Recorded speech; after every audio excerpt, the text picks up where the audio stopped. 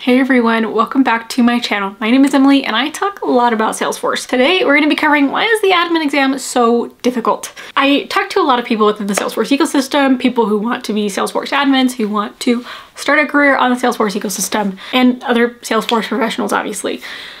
And one thing that often comes up is why is the admin exam so difficult? Why does it take so many tries to get the admin certification? Personally, I got it on my third try and it took a lot it took a lot in me to be able to get the certification. I felt really down at times because I could not get the certification on the first two tries, whereas my husband, who was able to get it on the first try, but he also had prior database experience, so that really helped him. So I wanted to make a whole video dedicated to why I think Salesforce certification is so difficult and different ways to mitigate the difficulty of the certification and different ways that you can improve on these things. So let's go ahead and jump in. So the first reason is going to be that Salesforce is new to you. So Salesforce, um, if you're getting the admin certification, typically you don't have a lot of database experience prior. You aren't familiar with how permissions work. You aren't familiar with how databases work.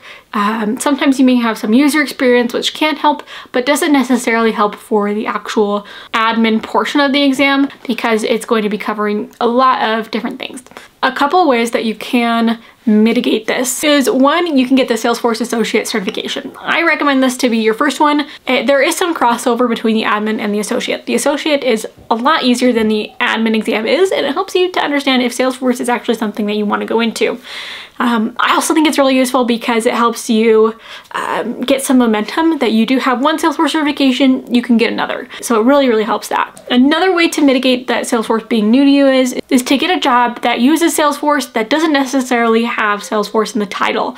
This could be like a customer service job. This could be, be a sales job. This could be a number of different jobs that use Salesforce that you could go in and use as a user. So then you can understand how it looks on the front end and then you can use your learning that you're doing in your off time to be able to say, oh, that's what this process is, and that's what this means. So then when you're on the exam, you can look back to those experiences. Another way to mitigate this is to just learn for fun, so then it makes it a lot easier to remember.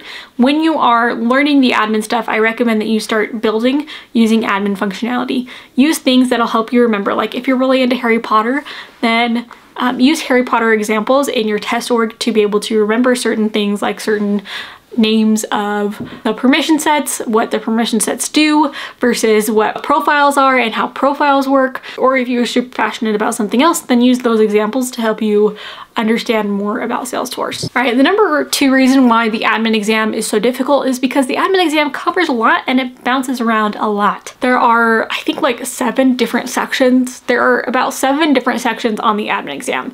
It covers the data model, the security model, which are kind of related, but then it goes to reporting, which is a little bit different and then it goes to users which is totally different and then it goes to automations and other things. And so it just bounces around a lot where one question you might be totally in the weeds of automations and the next one is going to be on like how do you freeze users or what's a report format. Um, those are going to be really difficult. There isn't continuity in the questions. You make it lucky and you might have two questions that cover um, the data model or the security model but oftentimes they're mixed up and they are um, bouncing around a lot and so it's hard for I don't know, it's hard for mentally to go from one thing to the other. Where this might be a little bit different on further Salesforce certifications, like if you're taking the Sales Cloud, it'll just be on Sales Cloud, and so you'll have some continuity in the questions. Admin is not like that. So let's talk about how to mitigate this bouncing around. You're gonna need to know a lot, and that's you're gonna need to study on specific things. So personally, I really love to use practice exams when I'm preparing for a certification. One, it helps me to get comfortable with the format. It also helps me to um, test where I'm at in my studying, how close am I getting to passing, how much over passing am I, and it helps to point out where your weak spots are. This is where I want to focus the mitigation. So you're going to want to understand what your weak spots are. So if your weak spots are in report formats, then that's what you need to go study. That's what you need to go understand. If your weak spots are in the data model, then you need to go study the specific pieces of the data model. And this is where YouTube and other free resources can come in handy. So let's say you're on a practice exam and you get um, a really low score on automations.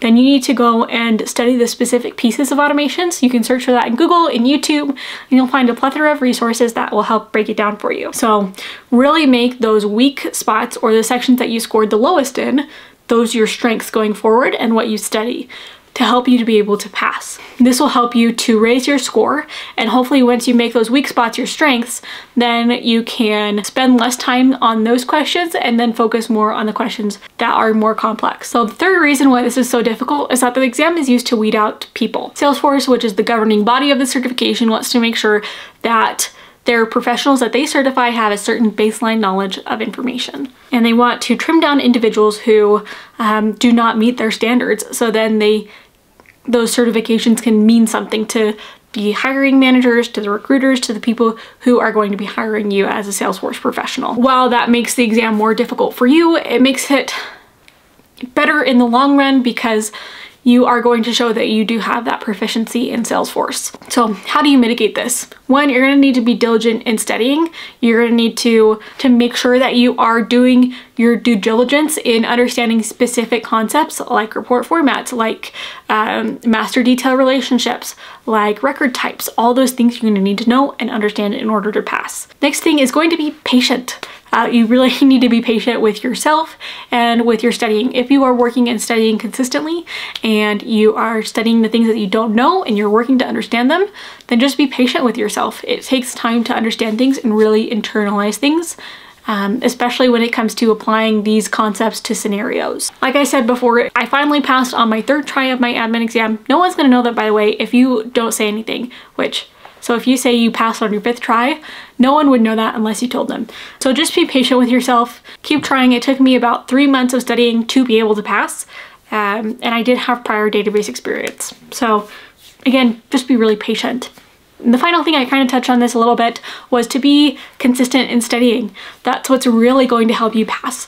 Make sure that you are studying, um, you know, every other day or every night or however you want to study, setting aside time very consistently to be able to get more in depth to the system.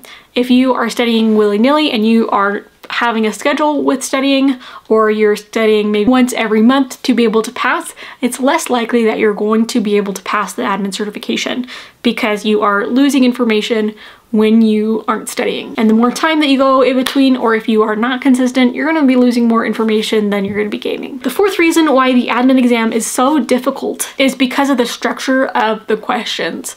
Um, so the structure of the questions is going to be a few different ways. They are going to be a choose one out of four. They are going to be a choose two out of five, or they're going to be a choose three out of five.